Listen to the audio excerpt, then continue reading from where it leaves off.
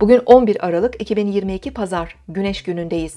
Yengeç burcunda ilerleyen ay, güne duygusal ve hassas enerjiler veriyor. Sabah saatlerinde ay, Balık burcundaki Neptün'le üçgen açı yapacak.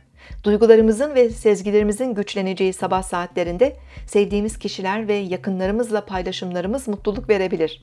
Özel ve sosyal ilişkilerde daha duyarlı olabilir, rahatlıkla empati yapabiliriz. Ruhsal ve bilinçaltına yönelik her konuda verim yükselebilir. Sabah erken saatlerde derin ve mesaj içeren özel rüyalarda görebiliriz. Ay öğleden sonraki saatlerde Oğlak burcundaki Plüton'la karşıt açıda olacak.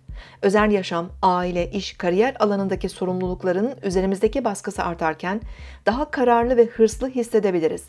Ancak duygusal baskılar ve manipülatif durumlarla da karşılaşabiliriz.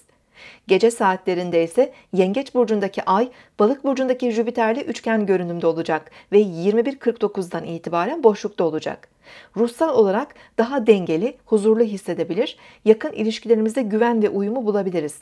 Duygusal hassasiyetimiz ve sezgilerimiz çok güçleneceğinden gece saatlerinde maneviyata ve tefekküre yönelmek faydalı olabilir.